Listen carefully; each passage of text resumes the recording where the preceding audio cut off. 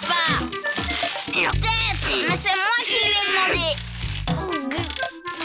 Les enfants Oh, bonjour Michel. Ah, Oh Bonjour Michel. Mais qu'est-ce qui vous arrive? Il reste un tout petit peu de pâtes. Elles sont pour moi. pourquoi ça serait pour toi tout seul? Si on faisait des pâtes fraîches pour tout le monde Quoi? Elles sont encore bonnes mes pâtes. Tiens, regarde la date. Je te crois Mais ce sont des pâtes sèches. Les fraîches sont bien meilleures et faciles à faire. Qu'en pensez-vous? Pour 4 personnes, il faut 250 grammes de farine plus un peu sur le côté pour saupoudrer. 6 gros œufs frais, une cuillère à café d'huile d'olive et une de sel et une pointe de noix de muscade. Pour la cuisson, une cuillère à soupe d'huile d'olive et une de gros sel. Pour les servir, du beurre ou de l'huile d'olive. On a besoin d'un grand saladier pour la pâte. Bob, Oh. tu veux bien y verser 250 grammes de farine?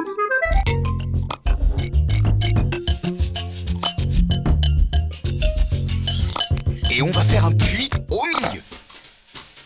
C'est comme le cratère d'un volcan. Parfait Maintenant, on casse deux œufs dans le cratère. Euh, dans le puits.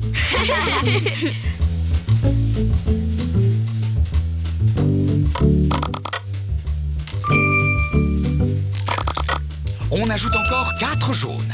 Je sais comment on fait. C'est pas juste. C'est toujours Prune qui fait tout. On fend la coquille en deux, on laisse les blancs tomber dans un bol et on passe le jaune d'une coquille à l'autre plusieurs fois. Bien, vous apprenez vite. Bob, tu peux ajouter une cuillère à café de sel. Et toi, Prune, une cuillère d'huile d'olive. Finir, on va ajouter... Les quatre blancs d'œufs. Non, non, non, non, non. On les garde au frais pour une autre recette. On va ajouter la muscade. Mes doigts sentent bon, sang. Burk. Maintenant, on va mélanger le tout avec une cuillère en bois. Très bien. Et on va pétrir la pâte. Ça veut dire quoi ce mot, Michel? Pétrir, ça s'écrit P-E-T-R-I-R. Et ça veut dire presser, malaxer la pâte pour former une boule. Voilà, elle est magnifique. Alors, on va saupoudrer de farine la table de travail et poser la boule dessus. Et on ressaupoudre encore. Et ensuite, approchez les enfants. Je vais vous dire mon secret pour réussir la pâte. Avec la paume de la main, on écrase petit à petit la boule. Ça lui donne de la densité pour la cuisson. Et on recommence. Je peux essayer? Oui, moi aussi. D'accord. Mais n'oubliez pas, on farine d'abord la table. Et ensuite, la boule. Allez, à toi, Bob. Bravo Au tour de prune maintenant. Bien. On reforme la boule et on va l'envelopper dans un film étirable et la mettre au frigo. Ça serait pas mieux d'utiliser un torchon propre? Tu as raison, c'est plus écologique. Bien, on va la laisser deux heures au frais. Ça, c'est une récréation super longue Avant d'aller jouer, vous devriez vous passer le visage et les mains à l'eau.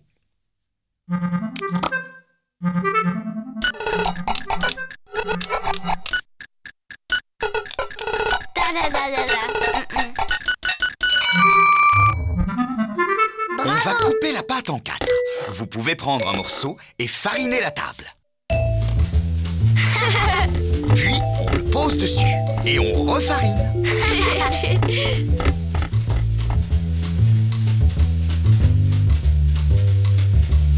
Et avec un rouleau à pâtisserie, on va étaler la pâte le plus finement possible. C'est pas très facile. Ça va aller. Hmm Hmm Tu es un vrai chef. On va découper un grand carré avec la roulette à pizza et le rouler. Puis, on coupe des tranches d'un demi-centimètre et on les déroule. On fera la même chose avec les autres morceaux. Regarde, Prune, on dirait des vrais. Maintenant, il nous faut une grande cocotte remplie d'eau aux trois quarts. Voilà, on la met à chauffer. On va manger toutes ces pâtes aujourd'hui? La moitié seulement. On va la mettre sur un torchon. Et le reste, ce sera pour demain. Maintenant, il nous faut deux chaises, les enfants. Vous voulez bien les installer dos à dos, un peu éloignées l'une de l'autre? Parfait. Il ne manque plus qu'un balai. Moi, je sais où il y en a un. Au galop, au galop. Ça, c'est un autre secret. On étale les pâtes sur le balai qu'on a d'abord nettoyé pour les laisser sécher toute la journée. Ce serait trop bien comme rideau pour notre cabane. Michel, je crois que l'eau bout. Alors, on va ajouter une cuillère à soupe de gros sel et une d'huile d'olive. Et voilà, Michel. Et bien sûr, les pâtes. On va les jeter dans l'eau avec une fourchette pour qu'elles ne collent pas entre elles. Elles vont cuire 8 à 10 minutes. Plus ou moins fermes selon votre goût. Juste le temps pour vous de rappeler mon petit secret. Petit secret, tu veux dire Oh, je sais. Faut bien pétrir la pâte pour lui donner de la densité. Et l'autre secret, euh, je m'en rappelle plus. Bob, on vient de le faire. On vient de le faire. Ah oui, le balai. Faut accrocher les pâtes sur le balai pour qu'elles sèchent. Bravo Michel, dépêche-toi, on les aime pas trop cuites, nous. Alors, on va les servir al dente. Avant, bien sûr, on va les égoutter. Puis, vite les verser dans un saladier et ajouter deux cuillères à soupe de beurre. On mélange très très vite. Elles sont prêtes. Sais quoi, le paquet de pâtes sèches Eh ben, je te le rends, ou plutôt, je te l'offre. Tiens. Non, merci. Oh, je préfère les pâtes fraîches de Michel.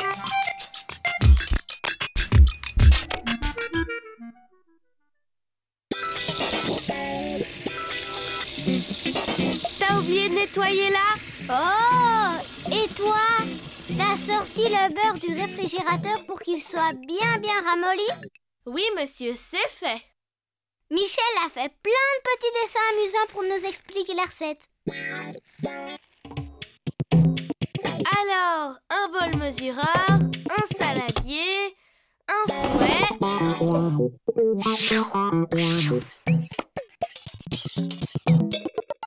Bonjour Michel Vous êtes des assistants extraordinaires, les enfants. Tu sais, bah plus tard, je voudrais devenir chef comme toi. Tu es déjà un chef, Bob. Moi, j'aime bien voir les gens se régaler avec ce que j'ai préparé. Ça, c'est le secret des grands chefs.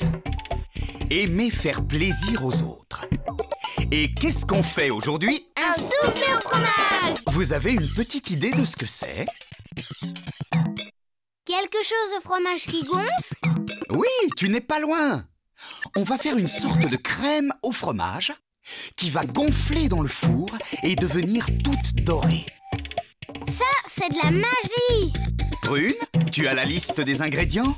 Oui, pour 4 personnes, il faut 5 œufs, 20 centilitres de lait, 100 g de gruyère râpée, 2 cuillères à soupe de beurre ramolli, une cuillère à soupe de farine, sel, poivre. Qui allume le four? Moi, moi le mets à combien? Thermostat 6 ou 180 degrés. J'ai l'impression qu'il va falloir séparer les blancs des jaunes. Oui, mais attention, on met les 5 blancs dans le grand saladier. Et seulement 4 jaunes dans l'autre bol. On garde le cinquième jaune au frais dans un petit récipient pour une autre préparation. Il faut toujours un blanc de plus que les jaunes dans les soufflets. C'est ça le premier secret. Pourquoi il faut un blanc de plus, Michel Pour que le soufflet soit plus léger et gonfle mieux. On montera les blancs à la dernière minute. On va d'abord préparer la béchamel. C'est quoi C'est une sauce qu'on fait avec de la farine Est-ce que mes assistants sont prêts Oui Oui Il nous faut une casserole. On règle sur feu moyen. On mesure 20 centilitres de lait qu'on verse dans la casserole. On ajoute la cuillère à soupe de farine, merci prune. Et avec le fouet à main, on mélange bien sans s'arrêter. Et le mélange va épaissir. Comment on sait à quel moment on arrête? Quand la béchamel a la consistance de la crème fraîche, ça prend 4 à 5 minutes. On peut la faire plus ou moins épaisse, ça dépend du soufflé. Pour un soufflé aux épinards, par exemple. Un soufflé aux épinards Même pas en rêve Mais c'est délicieux les épinards Oui, mais je suis allergique. Vraiment Toi, un futur grand chef? Oui, euh, je suis allergique à tout ce que j'aime pas. Et Michel, on dirait que c'est bon. Regarde. C'est parfait Le reste se passe hors du feu. Tu peux mettre un gant, prune? La cuillère à soupe de beurre pendant que c'est chaud. Oui. Et on va ajouter deux pincées de sel et un peu de poivre.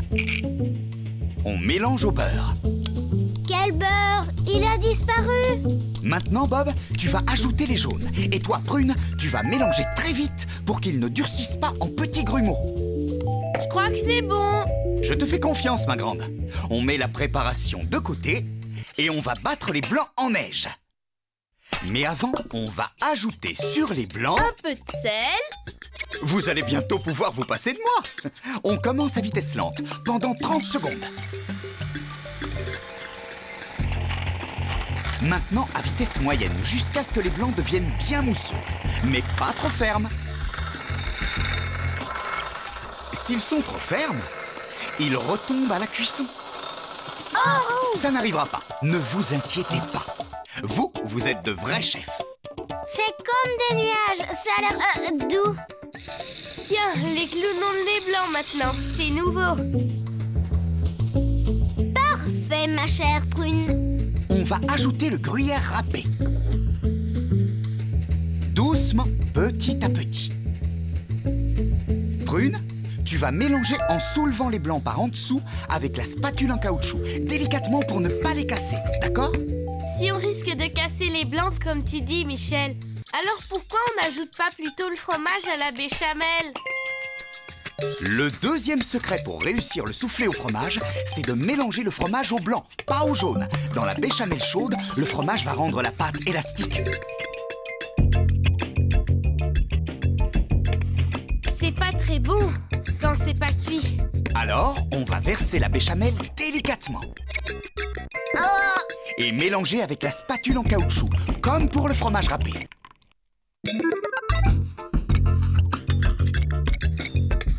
Voilà, c'est bien mélangé. Maintenant, il reste plus qu'à verser le tout dans un moule.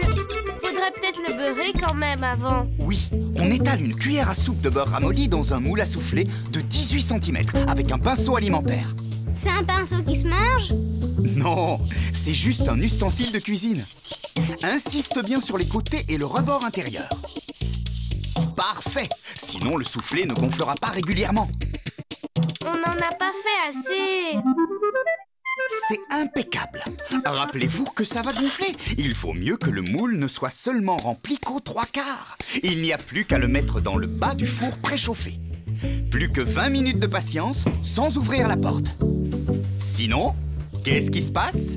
Sinon, euh, sinon il va complètement retomber. Il ne va même pas monter. Oh Oh, Voilà, c'est prêt les enfants.